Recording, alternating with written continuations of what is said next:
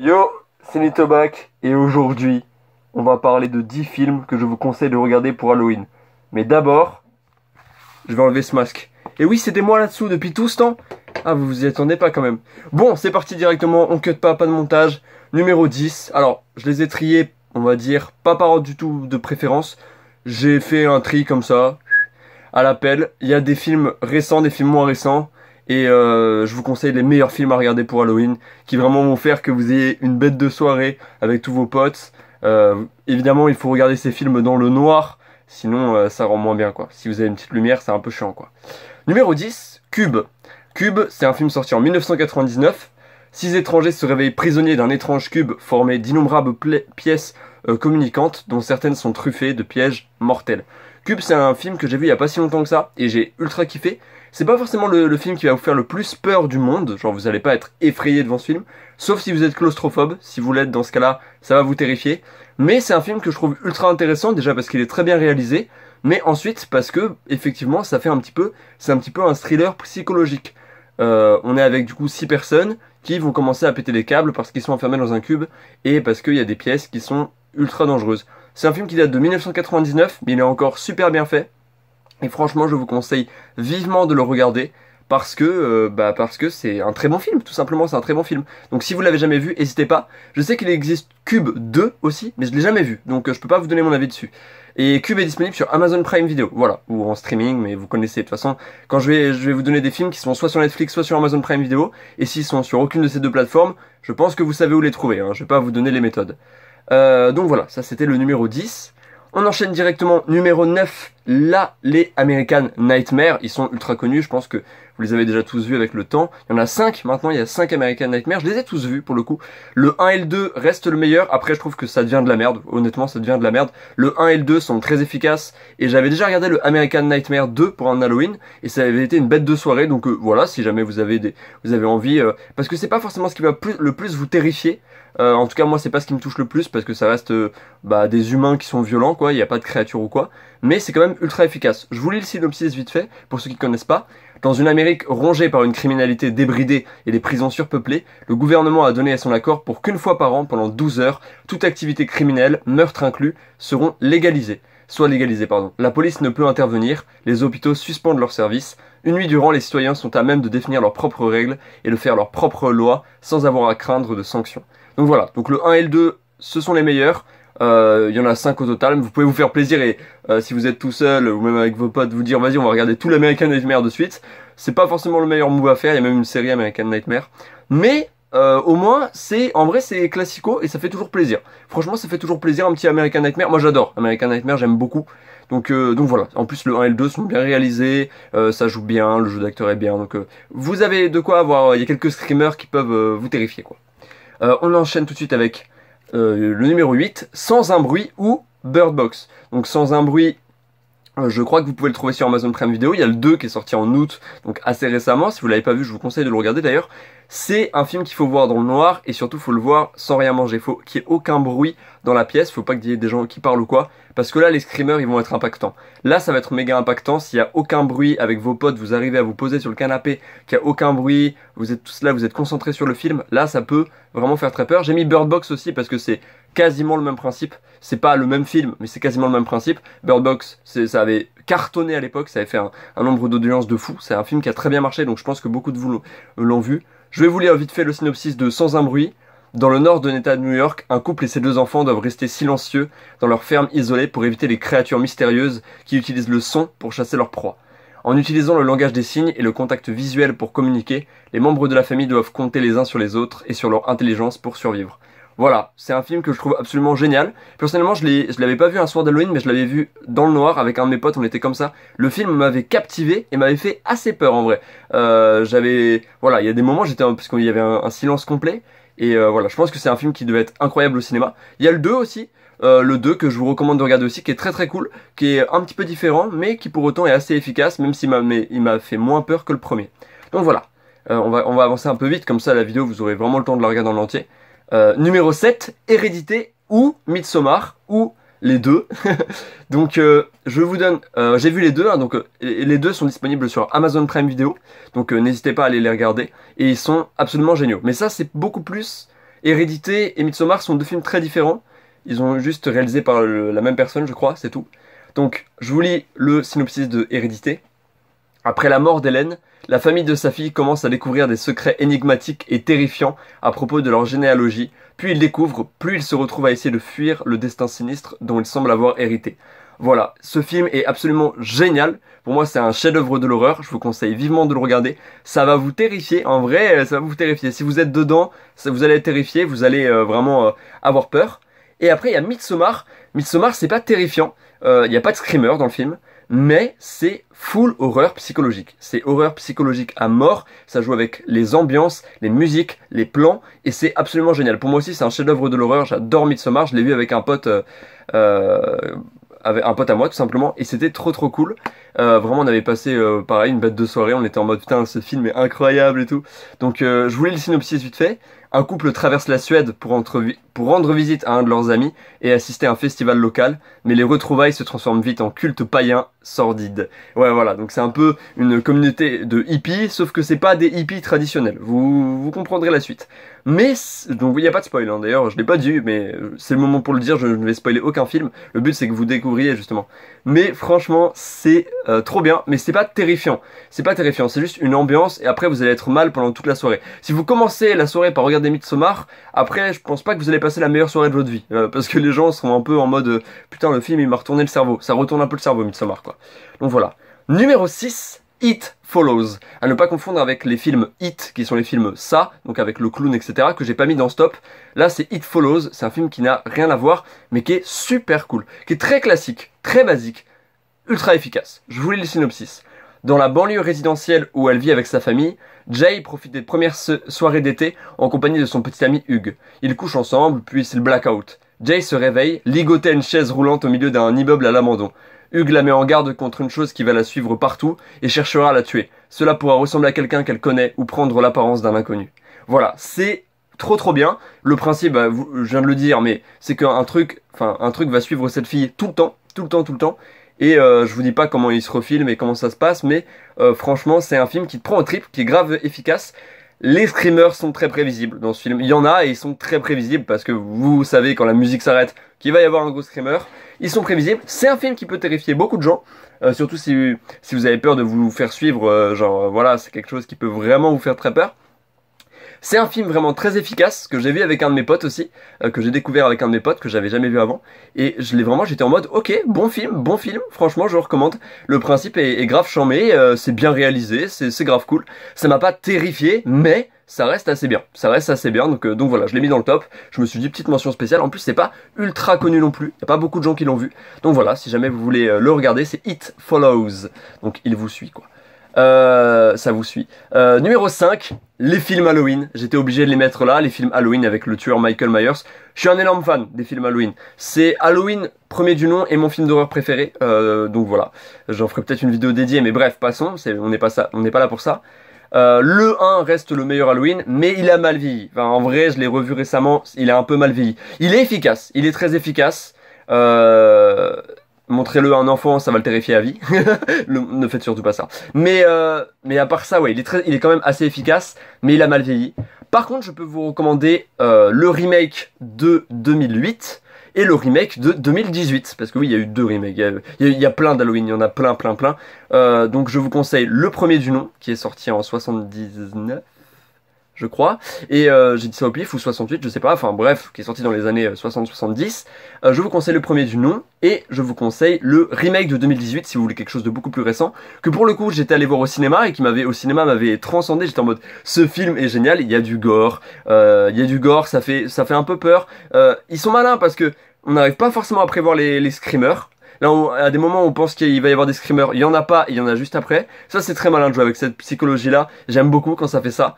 Euh, D'ailleurs, en ce moment au cinéma, il y a Halloween Kills, qui est la suite du remake de Halloween de 2018, que je suis pas encore allé voir. Je l'ai pas encore vu, donc je peux pas vous donner mon avis. Mais en vrai, le soir d'Halloween, ça doit être trop bien d'aller le voir au cinéma. C'est dimanche Halloween, donc vraiment, si vous avez, si vous êtes chaud, allez voir Halloween Kills au cinéma. Euh, bah, dimanche, il y aura plein de gens qui, qui feront ça, et ça peut être une bête de séance. Voilà, ça peut être une bête de séance au cinéma. Mais voilà, les films Halloween, j'étais obligé de les mettre. Je voulais le synopsis vite fait. Je voulais le synopsis du 1. Le jeune Michael Myers se précipite dans la chambre de sa sœur aînée et la poignarde sauvagement lors de l'été 63.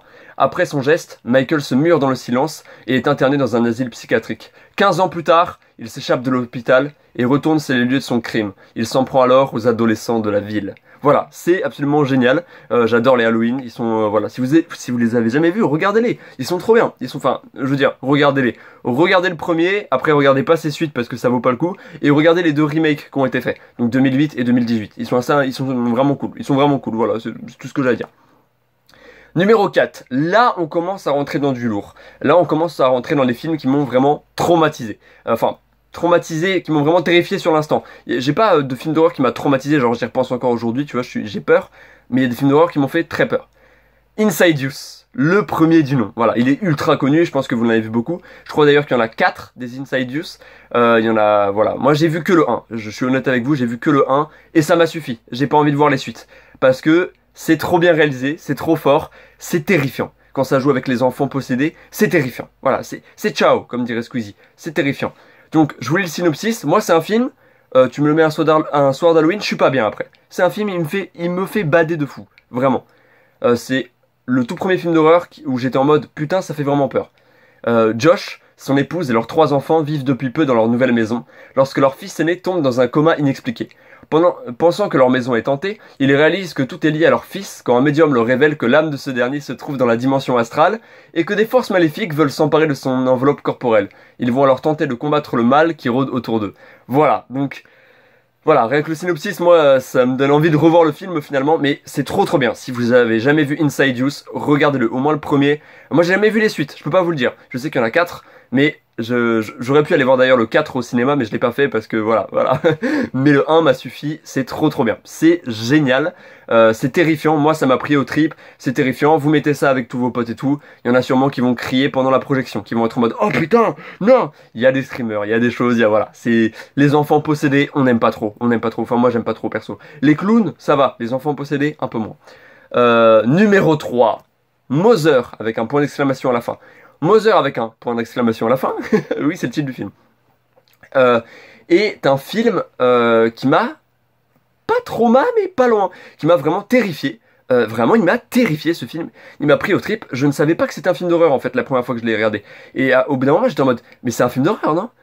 Alors, c'est pas forcément un film d'horreur, mais c'est un film, c'est un thriller psychologique. C'est beaucoup d'angoisse. Et moi, c'est ça m'a ça m'a pris au trip. C'est un truc c'est un truc de fou. C'est un truc de fou comment ce film a terrorisé, vraiment. Je voilà. C'est un film qui, est, on n'en parle pas beaucoup alors que c'est une masterclass. Pour moi, c'est un chef-d'œuvre. C'est très, c'est et c'est un film qui est récent en plus. Il y a Jennifer Lawrence dedans, l'actrice de Hunger Games, les amis. Faut aller voir ce film. Euh, c'est un, un peu un huis clos et euh, et c'est c'est trop bien. Donc euh, il est disponible sur Amazon Prime Video. Je vous lis le synopsis, mais vraiment allez voir ce film. Il est terrifiant. Moi, il m'a terrifié. Il m'a pris. En fait, je pense que il peut vous terrifier et ne pas vous terrifier. Ça dépend de comment vous approchez le film. Euh, elle, jeune et belle, partage sa vie avec lui, poète vieillissant en panne d'inspiration. Un jour, dans la vaste demeure qu'ils habitent, débarque un homme, seul et malade, qui dit être médecin. Ce dernier s'installe, puis le lendemain, sa femme le rejoint. Le couple prend ses aises aux grandes dames de la maîtresse de maison. La relation du couple est alors remise en question. Voilà, on dirait en lisant le synopsis que c'est un truc banal, c'est un film dramatique, pas du tout C'est terrifiant. C'est terrifiant. Dès le début du film, vraiment les, premières minutes, euh, t'es dans une ambiance. T'es dans une ambiance euh, horrible, paranoïaque, bizarre. La musique est une masterclass. La musique, elle, t'emporte quand... La musique, des fois, elle va s'arrêter. Il n'y a pas de screamer. Mais juste, elle a décidé de s'arrêter, euh, voilà, pour te faire un petit coup de flip. C'est un truc de taré. Non, vraiment, ce film, il vaut le coup. Mother, avec un point d'exclamation. Mais vous tapez Mother avec Jennifer Lawrence, vous allez trouver. Il est terrifiant est disponible sur Amazon Prime ou en streaming. Vous faites comme vous voulez. Mais regardez-le. Et je pense qu'il peut terrifier toute votre bande de potes. Voilà, je le dis ici. Euh, numéro 2, voilà le classico. Voilà le, le, classico, je pense que vous le connaissez tous. Quand on parle de chef-d'œuvre d'horreur, tout le monde en parle. Je parle bien sûr de Shining. Bon, mis, je l'ai mis là parce que moi, c'est un film que j'adore, qui m'a pas terrifié. Shining, c'est pas un film qui m'a fait peur, mais c'est un film qui m'a marqué euh, parce que je le trouve trop bien. Je le trouve trop bien en fait ce film. Il est génial. C'est un excellent film d'horreur. Donc Shining, petit synopsis quand même. Jack Torrance, gardien d'un hôtel fermé l'hiver, sa femme et son fils Danny s'apprêtent à vivre de longs mois de solitude. Danny, qui possède un nom de médium, le Shining, c'est ça, hein, le Shining, c'est le don, euh, c'est le petit doigt, le don de médium, est effrayé à l'idée d'habiter ce lieu. Théâtre marqué par de terribles événements passés. Voilà, donc ça c'est le, synopsis. Shining, c'est trop fort, c'est, ça date euh, de fou, mais c'est absolument génial. C'est un putain de chef-d'œuvre et, euh, et voilà. Alors ce film-là, j'ai fait l'erreur, l'erreur de la première fois que je l'ai vu de le regarder sur téléphone. Et du coup, bah, le film, il m'a pas forcément pris au trip. Il m'a pas fait peur. Par contre, après, je l'ai revu au grand écran dans le noir. Et là, je peux vous dire que j'étais bien. Franchement, j'étais bien. C'est pas un film qui me terrorise. Genre, je suis pas là, ah, comme ça. Non. Mais c'est un film, il te met pas bien. Il te met pas bien, Shining. Il fait peur. Et c'est cool. Il y a aussi Doctor Sleep, la suite de Shining, qui est génial, qui est sorti en 2018-2019, par là. 2018, je crois. Mais euh, qui est absolument génial aussi. C'est la suite de Shining. Et c'est génial. C'est avec des effets spéciaux beaucoup plus récents. Et pour le coup, c'est aussi prenant que Shining. C'est aussi bon que Shining. Voilà, donc il y a Shining et Doctor Sleep, qui est sa suite. Donc faut avoir vu Shining avant. Mais franchement, si vous avez jamais vu Doctor Sleep, c'est pareil que Shining. C'est une ambiance psychologique. Voilà, c'est quelque chose qui te prend au trip, qui te fait peur. Donc voilà, donc franchement, je vous recommande ces deux films. Chef-d'œuvre de l'horreur absolue, euh, qui sont dans tous les tops de tous les mondes, etc. Mais, euh, mais voilà. Numéro 1, il est ultra connu, il a marqué ma génération, il a marqué beaucoup de générations. Il. Conjuring, premier du nom. Euh, mais je mettrai aussi Conjuring 2. Le 3 par contre il, est nul. Mais, mais Conjuring 1 et 2. Conjuring, l'histoire horrible mais vraie. Bon je mets des guillemets quand même, parce qu'on ne sait jamais. Euh, Dead et Lorraine Warren, enquêteurs paranormaux réputés dans le monde entier, venus en aide à une famille terrorisée par une présence inquiétante dans leur ferme isolée. Contraints d'affronter une créature démoniaque d'une force redoutable, les Warren se retrouvent face à l'affaire la plus terrifiante de leur carrière. Donc voilà, je mets des gros guillemets parce que le film vous dira c'est d'après une histoire vraie, mais après le paranormal, vous y croyez ou pas, c'est comme vous, vous, le sentez. Euh, mais on sait que les Warren c'était un petit peu des charlots, mais bon, voilà, je vais pas revenir dessus, c'est pas une vidéo sur les Warren. C'est terrifiant. Voilà, Conjuring, pour le résumer, c'est génial, c'est trop fort. Je l'ai vu un soir d'Halloween, euh, à 3h du matin. voilà, non mais voilà, faut, faut, le dire, la première fois que je l'ai vu, soir d'Halloween, 3h du matin, euh, dans le noir, euh, avec mon meilleur pote et ma petite sœur. Trauma. Trauma, j'ai mis beaucoup de temps à me remettre du film. Le film m'a fait très peur. Des fois, j'étais comme ça, frère. Alors que il y a des gens, ils vous dire ouais, Conjuring, classico et tout. Moi, ça m'a pris de fou. Ça m'a pris de fou, je sais pas. Je trouve ça trop bien, trop bien réalisé quand il monte les escaliers comme ça. Enfin, moi, je trouve ça complètement fou. Conjuring, si vous l'avez jamais, vu, regardez-le. Voilà. Le 1 et le 2 sont géniaux. Le 3, il pue la merde. mais le 1 et le 2, sont terrifiants. Et je dirais même plus que le 2 fait plus... Le 2 a des scènes qui font plus peur que le 1, mais le 1 dans son ensemble fait plus peur que le 2. Voilà, retenez ça. Retenez ça. Donc pour moi, le 1 fait plus peur du coup. Mais euh, waouh, waouh, Conjuring euh, très très fort. Masterclass, Masterclass en plus récent, en 2013 euh, ou 2011, mais 2000. Voilà, je donne des dates approximatives, mais récent, mine de rien. Et Conjuring, Masterclass, j'adore.